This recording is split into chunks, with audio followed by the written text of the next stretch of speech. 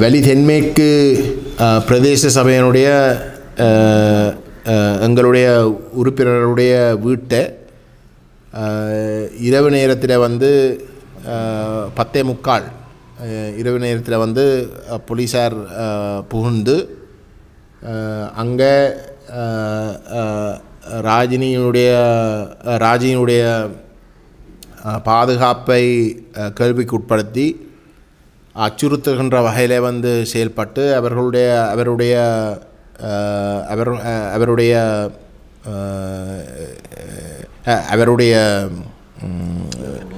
சுய கௌரவத்துக்கும் கேள்விக்கு உட்படுத்துகிற வகையில் அவர்கள் நடந்து கொள்ள முயற்சித்த விடயத்தை நாங்கள் உங்களுக்கு வெளிக்கொண்டு வர விரும்புகின்றோம். இது சம்பந்தமாக ராஜினி வந்து மனிதனுமே ஆணைக்குழுவுக்கு வந்து முறைப்பாடு செய்திருக்கிறார். போலீஸார் தான் இப்படி நடந்து கொண்டபடியாக வந்து போலீஸாரிடம் வந்து சென்ற பொழுது அந்த அவர்கள் அந்த முறைப்பாடை ஏற்க மறுத்திருக்கிறார்கள்.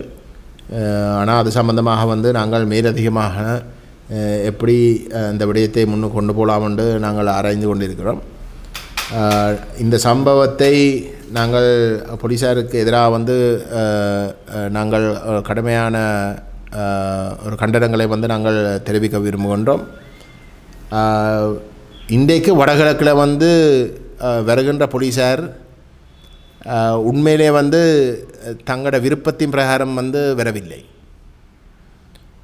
அவை ஒரு பனிஷ்மெண்ட் ட்ரான்ஸ்ஃபரில் தான் வரினம் அவைக்கு இந்த இயலாத கட்டத்தில் வந்து தவிர்க்க முடியாத ஒரு நிலையில் தான் அவர்கள் முழு பேரும் வெறியினம் அவை இந்த மக்கள் மீது அவர்களுக்கு ஒரு பாசம் இந்த மக்களுக்கு ஒரு நீதி செய்யணும் ஒரு நியாயத்தின் அடிப்படையில் வந்து இந்த இந்த மக்களுடைய பணிகளை வந்து தாங்கள் செய்யணும் என்ற சிந்தனையே இல்லாமல் இந்த காலத்தில் வந்து தங்களால் உழைக்கக்கூடிய உழைப்பை உறுதிப்படுத்தி இந்த மக்களுடைய காசை கொள்ளை அடித்து எந்தளவு தூரத்துக்கு வந்து இந்த மக்களுக்கு ஒரு இடைஞ்சலை ஏற்படுத்தி வந்து இந்த பய பீதியை ஏற்படுத்தி அந்த பய பீதியிலேருந்து தப்புறத்துக்கு வந்து லஞ்சம் கொடுத்து இந்த போலீஸாருக்கு லஞ்சம் கொடுத்து தங்களோட பாதுகாப்பை உறுதிப்படுத்துகின்ற ஒரு கலாச்சாரத்தை திட்டமிட்டு வந்து அவர்கள் பேணினம் ஆகவே அப்படிப்பட்ட நபர்கள் தான் இன்றைக்கு பாதுகாப்புன்ற பெயரில் வந்து இங்கே அஹ், இயங்கிக் கொண்டு இருக்கிறோம் என்றதையும் நாங்கள் சுட்டிக்காட்ட விரும்புகிறோம். ராஜினி அவர்கள் வந்து ஒரு அரசியல் அமைப்பை சார்ந்தவர். அதுவும் தமிழ் தேசிய மக்கள் முன்னணி ஸ்ரீலங்கா அரசுக்கு இல்லாட்டி ஸ்ரீலங்கா அரசை அம்பலப்படுத்துகின்ற விடயத்தில் வந்து பின்தயங்காத ஒரு அமைப்பு என்று தெரிஞ்சு கொண்டும் ஒரு மிக தீவிரமான ஒரு உறுதியான ஒரு செயற்பாட்டாளர் என்று தெரிஞ்சு கொண்டும் அந்த போலீஸார் வந்து இப்படி நடந்து கொள்ளினோம் என்றால் எந்தளவு தூரத்துக்கு? இன்றைக்கு வந்து தமிழ் தேசிய மக்கள் முன்னணியுடைய உறுப்பினர்களுக்கும் இ- இந்த ஸ்ரீலங்கா அரசு கட்டமைப்பு வந்து இயங்க தயாரென்ற ஒரு செய்தியை தான் இது அனைத்தும் வந்து எடுத்துக்காட்டுகின்றதையும் நாங்கள் இந்த இடத்துல சுட்டிக்காட்ட விரும்புகின்றோம். எங்களை பொறுத்தவரையில் வந்து எம்முடைய பாதுகாப்பு நம்முடைய மக்கள் மட்டும்தான் என்றது அடிப்படையில் தான் நாங்கள் தொடர்ந்தும் எங்களுடைய சேவைகளை வந்து செய்கிறோம். அது எந்த விதத்திலையும் வந்து பின்வாங்கப்படாது அது தொடரும். ஆனால் அதே சமயம் வந்து மக்களும் தமிழ் தேசிய மக்கள் முன்னோடு கைகோர்ந்து இந்த உரிமை பயணத்திலே வந்து எங்களை இன்னும் இன்னும் பலப்படுத்தணும் என்று நாங்கள் உரிமையோட வந்து கேட்டுக்கொள்ள விரும்புகின்றோம். சமஷ்டி வந்து தமிழ் தேசிய மக்கள் முன்னணி மட்டும் அந்த கோரிக்கையை முன்வைக்கவில்லை. எல்லோரும் தான் கோரிக்கையை முன்வைத்திருக்கிறோம். ஆனால் அந்த கட்சி மட்டும் சமஷ்டியை உரிமை கோருவது போன்று செயற்பட்டு கொண்டிருக்கிறது என்று பாராளுமன்ற உறுப்பினர் மனோகரசன் கூறியிருக்கிறார். இது ஒரு உங்களது இல்லை திரு மனோ கணேசன் அவர்கள் அப்படி ஏன் கூறுகிறார் என்று எனக்கு விளங்க இல்லை. நாங்கள் எந்த ஒரு இடத்திலையும் வந்து நாங்கள் மட்டும்தான் சமஷ்டி கூறுகின்றோம் என்று நாங்கள் சொல்லவில்லை. மாறாக நாங்கள் மங்- முன்வைக்கிற விமர்சனமே இந்த மெட்ட கட்சிகள் தமிழ் மக்களிடம் வாக்கை பெறுவதற்கு சமஷ்டியைத்தான் கோரினார்கள். அதைத்தான் நாங்கள் விமர்சனமாகவே முன்வைக்கிறோம். வாக்கை பெறுவதற்கு வந்து அவர்கள் சமஷ்டியை கோருகிறார்கள். ஆனால் வாக்கை பெற்ற அடுத்த நாள் சமஷ்டியை விட்டு விட்டு ஒற்றையாட்சிக்குள்ளே தமிழ் அரசியலை முடக்குவதற்காகத்தான் செயல்படுகிறார்கள் என்றதான் எங்களோட குற்றச்சாட்டு. அவை மக்கள் ஆணையை கொடுத்ததையும் பிரகாரம் தான் அவர்கள் நடந்து கொள்ள வேணும் மக்கள் கொடுத்த ஆணைக்கு துரோகம் அளிக்கிற வகையிலிருந்து அவர்கள் நடந்து கொள்ளக்கூடாது என்றது தான் நாங்கள் கேட்டுக்கொள்ள விரும்புகின்றோம்.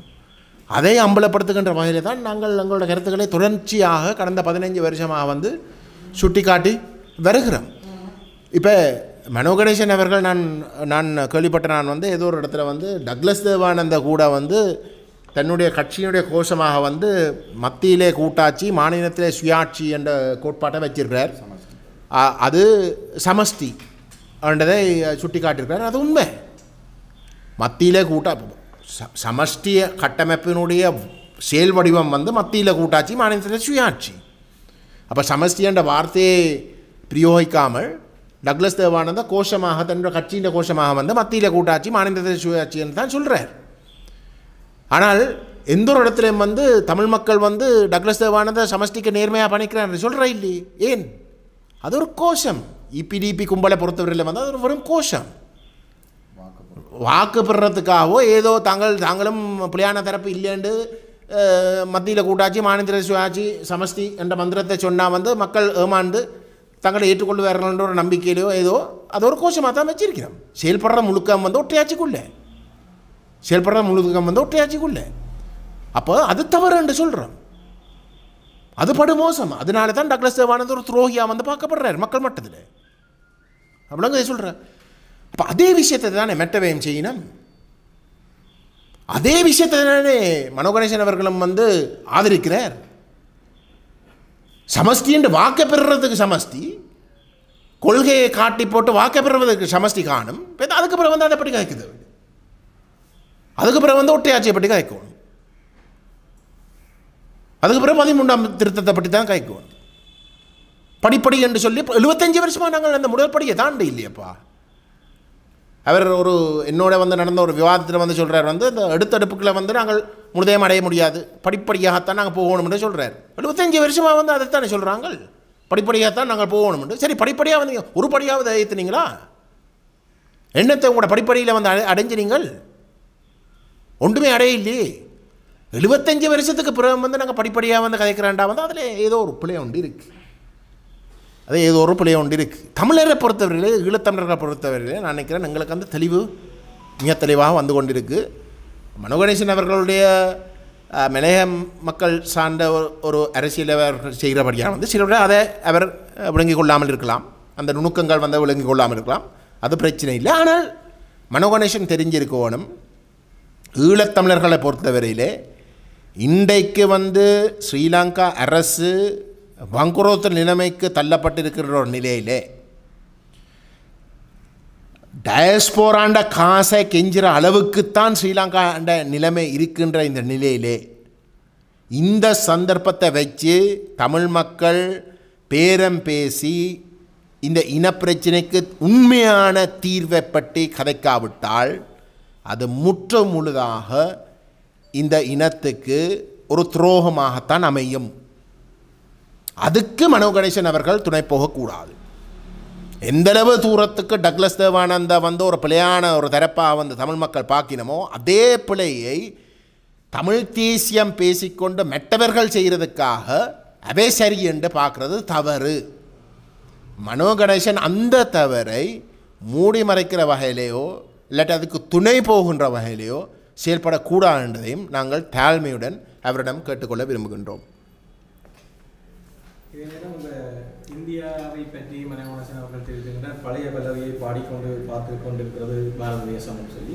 அதாவது இந்தியா எமது பிரச்சனை தமிழற்ற விடயம் தொடர்பில் எவ்வளவு தூரத்துக்கு பயணிக்கும் என்பதை தமிழ் தலைவர்கள் வந்து புரிந்து கொள்ள வேண்டும் என்று கூறியிருக்கின்றனர் இதை நீங்கள் பார்க்கலாம்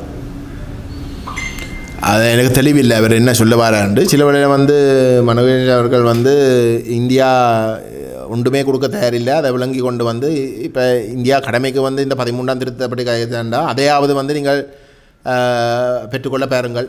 வேறு ஒன்றை பட்டியும் வந்து கைக்க வேண்டாம்னு சொ சொல்கிற மாதிரி தான் இருக்குது இப்போ அவர் அதை ஒரு பக்கம் சொல்லிக்கொண்டு இந்த சமஷ்டி தான் இலக்குன்னு சொல்கிறதுக்கு முரண்பாடு இருக்குது எனக்கு தெரிஞ்ச அளவுக்கு வந்து ஒரு முரண்பாடு இருக்குண்டா என்ன சொல்கிறார் சமஷ்டியை கைவிட சொல்லி தான் சொல்கிறார் கைவிட சொல்லி தான் சொல்கிறார் அப்போ அது அவர் கொஞ்சம் யோசிக்கணும். நான் நினைக்கிறேன் அவர் சில வேளை அந்த வடகிழக்கு அரசியலுக்குள்ளே வந்து அவர் அவருக்கு பெருசாக ஒரு ஒரு என்ன ஒரு அனுபவம் இல்லாதபடியால் வந்து அவர் அந்த நோக்கங்களை விளங்கி கொள்ளாமல் வந்து அந்த அந்த நேருக்கு நேர் முரண்பாடான கருத்துக்களை வந்து தெரிவிக்கிறார் போல இருக்குது ஆனால் அவர் அப்படி சொல்கிறதால வந்து உண்மையிலே அவருடைய நம்பகத்தன்மைக்குத்தான் அது ஒரு கேள்விக்குறியாக வந்து மாறும் வந்து அவர் விளங்கி கொள்கிற நல்லம்.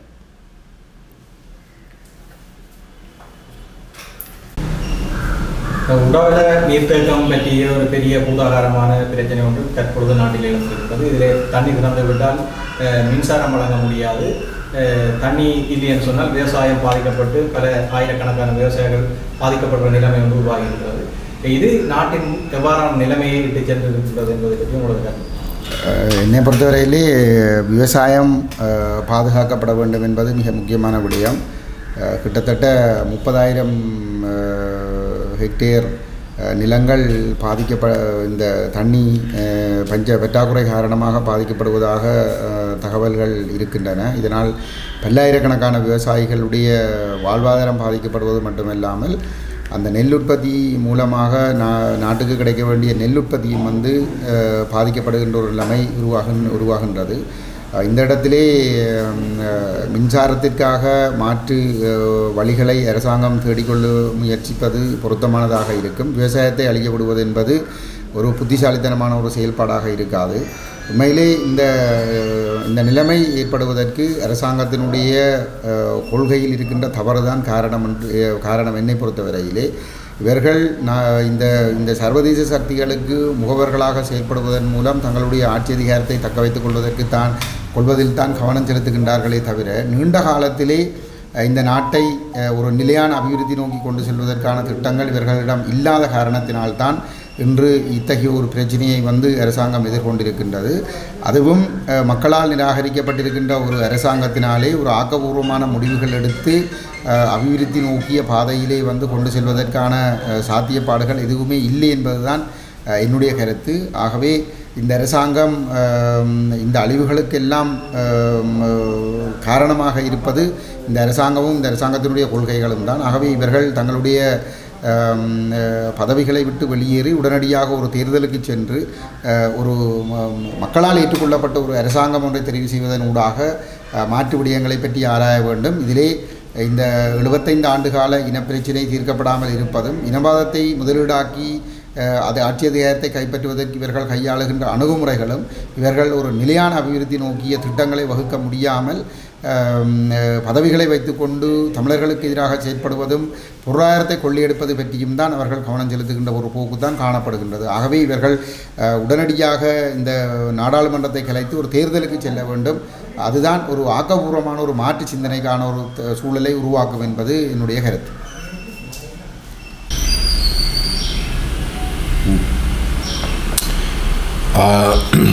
நேற்றைய தினம் தமிழ் தேசிய மக்கள் முன்னணிக்கு ஜனாதிபதி அலுவலகத்தில் இருந்து மீண்டும் ஒரு முறை ஒரு அழைப்புதல் வந்திருக்கின்றது. இந்த பதிமூன்றாம் திருத்தத்தை அமுல்படுத்துகிறது சம்பந்தமாக இன்னொரு சுற்று பேச்சுவார்த்தையை நடத்துவதற்கு அவர்கள் தயாராகிறார்கள். அந்த விடயத்தில் வந்து நாங்கள் ஏற்கனவே குறிப்பிடத்த போட வந்து தமிழ் மக்களுடைய அரசியல் தீர்வு சம்பந்தமான பேச்சுவார்த்தை என்று சர்வதேச மட்டத்துக்கு வந்து காட்டிக்கொண்டு அதே நேரம் தமிழ் மக்களுடைய இனப்பிரச்சினைக்கு எந்த விதமான தொடர்பும் இல்லாத ஒற்றையாட்சிக்குள் இருக்கக்கூடிய ஒரு கட்டமைப்பு ஏற்கனவே அரசியலமைப்பில் இருக்கிற ஒரு கட்டமைப்பு தொடர்பாக இந்த பதிமூன்றாம் திருத்தம் தொடர்பாக பேச அழைப்பது மீண்டும் மீண்டும் வடகிழக்கு வாழ் ஈழத்தமிழர்களை முட்டாளாக்கின்ற வேலையை மட்டுமல்ல அது எந்தளவு தூரத்துக்கு ஈழத்தமிழர்களை வந்து ரணில் விக்ரமசிங்க மதிக்க தயாரில்லை கணக்கெடுக்க தயாரில்லை என்றதை காட்டுகின்ற ஒரு செயலாகத்தான் இருக்கின்றது. இதில் ஏற்கனவே குறிப்பிட்டதை போல வந்து இந்த குட்ட குட்ட குனியறவனும் அடையன் குனிய குனிய குற்றவனும் மடையன் என்ற வகையில் இதை தெரிஞ்சு கொண்டு இந்த பேச்சுவார்த்தையில் கலந்து கொள்ளுகின்ற தமிழ் தரப்புகள் எந்தளவு தூரத்துக்கு தமிழ் மக்களுக்கு இந்த பேரம் பேசக்கூடிய வாய்ப்புகளை முற்றிலும் இல்லாமல் ஆக்கி ரணில் விக்ரமசிங்கோட ஆட்சியை சிங்கள மக்களாலேயே ஏற்றுக்கொள்ளாத அங்கீகரிக்காத ஒரு ஆட்சியை முண்டு கொடுக்கின்ற ஒரு செயலாக மட்டும்தான் அமைகிறன்றதை நம்முடைய மக்கள் விளங்கி கொள்ள வேண்டும். இதில் முக்கியமாக வந்து ரணில் விக்ரமசிங்கவுடைய அந்த உண்மையான ஒரு மோசமான முகத்தை வெளிக்கொண்டு வர கூடிய ஒரு விடயம் இன்றைக்கு இன்னும் இன்னும் அம்பலமாக இருக்கின்றது. ஒரு பக்கம் வந்து பதிமூன்றாம் திருத்தம் ஏதோ பேரில் அதிகார பகிர்வு என்று காட்டிக்கொள்கிறதுக்காக அதை அமுல்படுத்துகிறதாக வந்து சொல்லி ஒரு பக்கம் தமிழ் மக்களை வந்து ஏமாற்றி கொண்டிருக்கிற அதே சமயம் இந்த அரசாங்கம் வந்து இப்போ ஒரு வருஷமாக தீவகம் முழுதும் தீவகம் முழுதும் ஒரு ஒரு அதிகார சபைக்குள்ளே கொண்டு வந்து அந்த தீவகத்தில் இருக்கக்கூடிய அனைத்து நிர்வாக வேலைப்பணிகளும் வந்து கொழும்பாலே நேரடியாக ஆட்சி செய்கின்ற ஒரு சட்ட வடிவம் ஒன்று தயாரிக்கப்பட்டு அது கபினட்டுக்கு வந்து வழங்கப்படுறதுக்குரிய தயார் நிலையிலே இருக்கின்றது.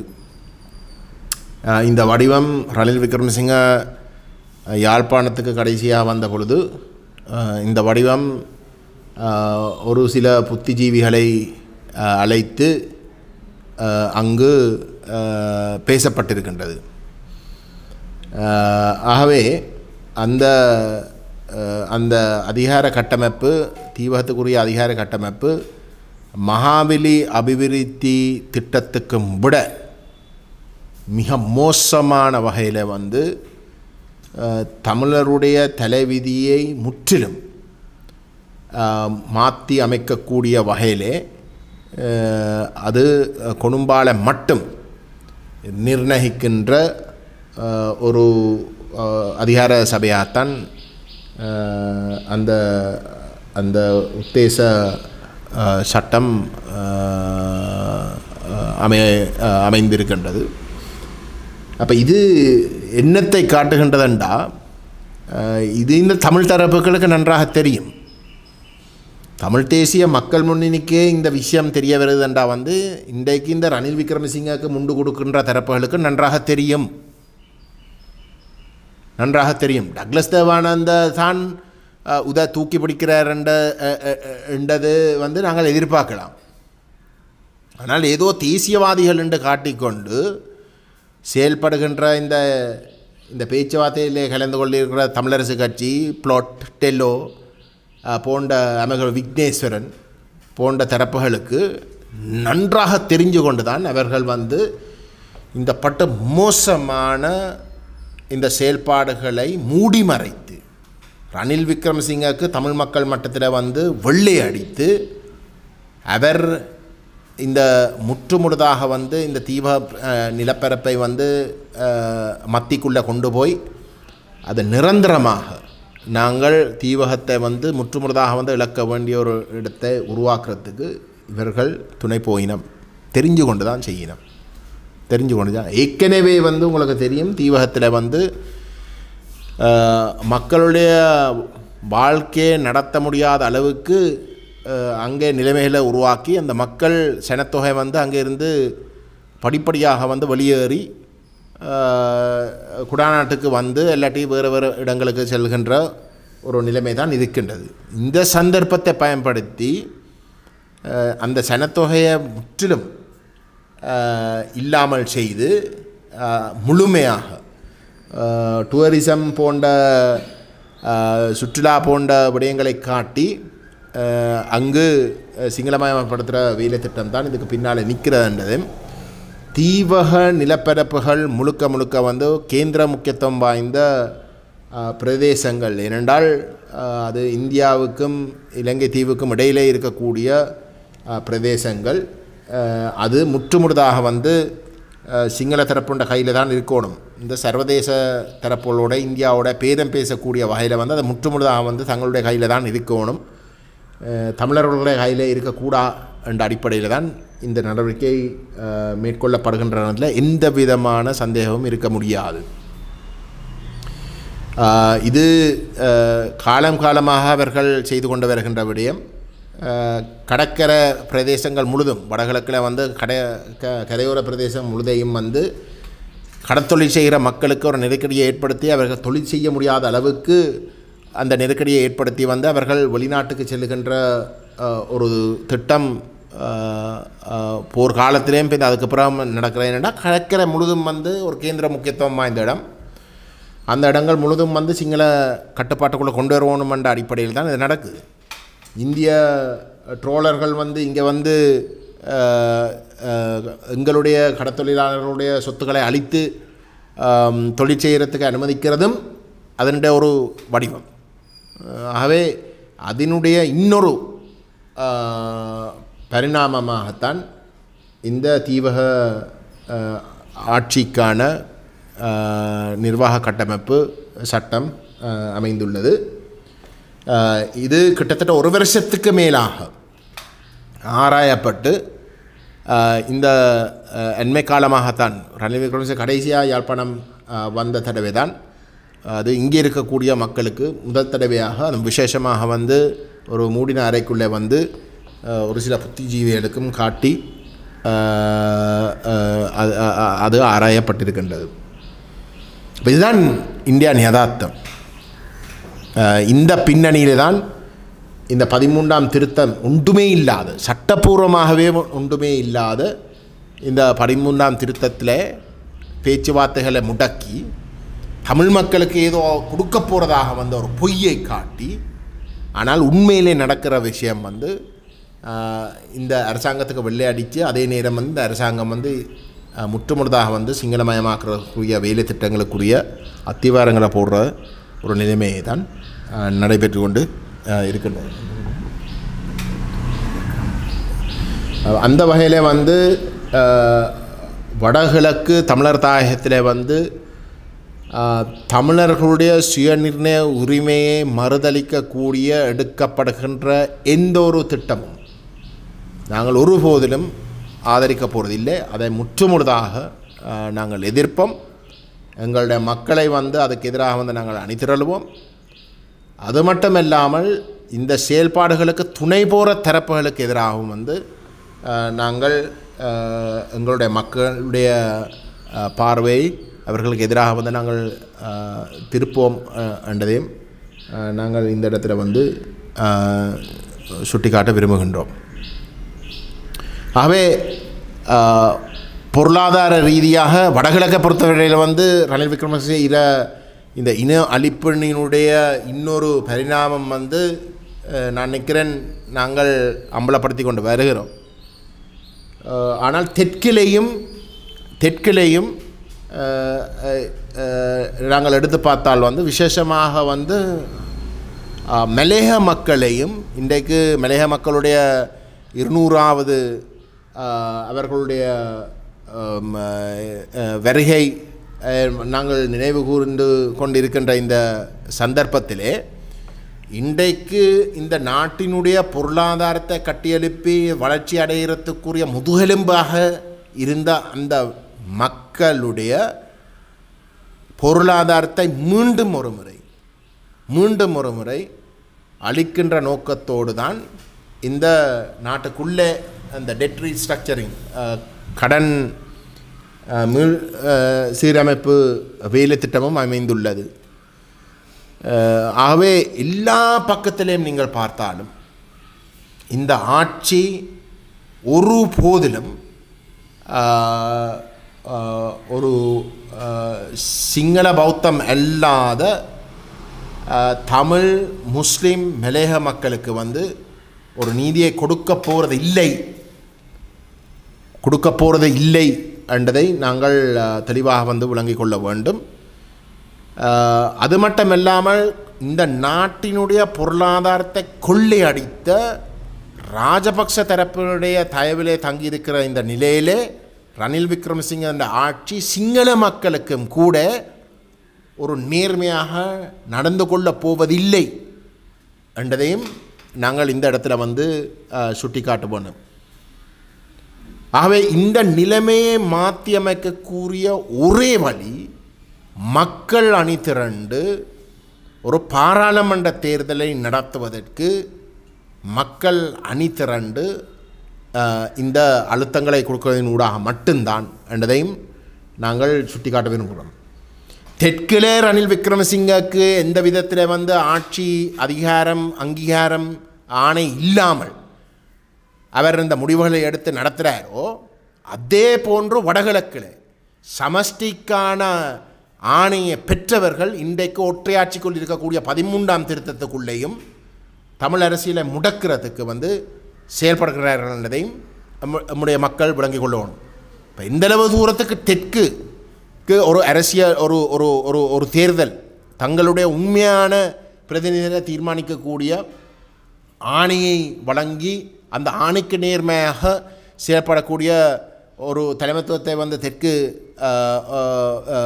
தேர்ந்தெடுக்க விரும்புகின்றதோ அதே போன்று தான் வடகிழக்கிலேயும் வந்து ஒரு அரசியல் மோசடி செய்து சமஷ்டிக்காகத்தான் நாங்கள் இருக்கிறோம் என்று வாக்கை பெற்று தீர்வை பற்றி கதைக்க வேண்டிய நேரத்தில் வந்து அந்த சமஷ்டியை பற்றி உச்சரிக்காமலே ஒற்றையாட்சிக்குள்ளே வந்து தமிழ் அரசியலை முடக்கிறதுக்கும் இங்கேயும் வந்து துரோகம் அளிக்கிறோம். ஆகவே இது ரெண்டு பகுதிக்கும் வந்து ஒரு ஒரு நடக்கிற இந்த மோசமான செயல்களுக்கு வந்து ஒரு ஒரு விடையாக வந்து ஒரு பாராளுமன்ற தேர்தல் மட்டும்தான் அமையும் என்றதையும் நாங்கள் இந்த இடத்துல வந்து சுட்டிக்காட்ட விரும்புகின்றோம். மலைய மக்களுடைய இருநூறாவது அவர்களுடைய வருகின்ற இரு இருநூறாவது ஆண்டு நிறைவு வந்து நாங்கள் மிக தெளிவாக நம்முடைய மலைய மக்களுக்கு வந்து சொல்ல விரும்புவது ஈழத்தமிழர்கள் விசேஷமாக மலைய மக்களுடைய எங்களுடைய உரிமை போராட்டத்தில் வந்து அவர்களுடைய பங்களிப்பு. ஐ நாங்கள் இந்த இடத்துல வந்து ஞாபகப்படுத்த விரும்புகின்றோம். எண்பத்தி மூன்றாம் ஆண்டு அவர்கள் இடம்பெயர்ந்து தங்களுடைய இருப்பை பாதுகாப்பதற்கு வந்து வடகிழக்குக்கு வந்த பொழுது அவர்கள் முற்றுமுழுதாக வந்து எங்களுடைய விடுதலை போராட்டத்தோடு இணைந்தவை. மலையகம் ஈழத்தமிழர்கள் என்ற வேறுபாடுகள் இல்லாமல் ஒரு ஒரு மக்கள் ஒரு இனமாக ஒரு தேசமாக வந்து அவை அவை முற்றுமுழுதாக வந்து இணைந்து பயணித்தவை. அவர்களுடைய பங்களிப்பு இந்த விடுதலை போராட்டத்தில் ஒரு மிகவும் உச்சமாக இருந்ததிலே நாங்கள் எந்த ஒரு இடத்துலையும் வந்து நாங்கள் அதை பெருமையோடு வந்து கூறி அதுக்கு தலைவணங்க கடமைப்பட்டிருக்கின்றோம். அவர்களுடைய அவர்களுடைய பங்களிப்பு எந்தளவு தூரத்துக்கு இருந்தாண்டா வந்து எங்களுடைய விடுத விடுதலை போராட்டத்தில் வந்து ஆஹ், மக்களுடைய முக்கியமான தளபதிகள் வந்து உயர்ந்த தலைமை பதவிகளில் வந்து இருந்ததையும் வந்து நாங்கள் இந்த இடத்துல வந்து ஞாபகப்படுத்த விரும்புகின்றோம். மலைய மக்களுடைய நிலைமை தெற்கில் ஒரு மோசமாக இருந்தாலும் கூட இந்த விடுதலை போராட்டம் காலத்தில் நேர்மையாக இந்த மக்களுடைய நிலங்களுக்காக வந்து பயணிக்கிறதுக்கு தயாராக இருந்த தலைமைத்துவத்துறை காலத்தில் வந்து மலையக மக்களுக்கு இருந்த மரியாதையும் அவர்களுக்கு இருந்த அவர்கள் மீது வச்சிருந்த பாசமும்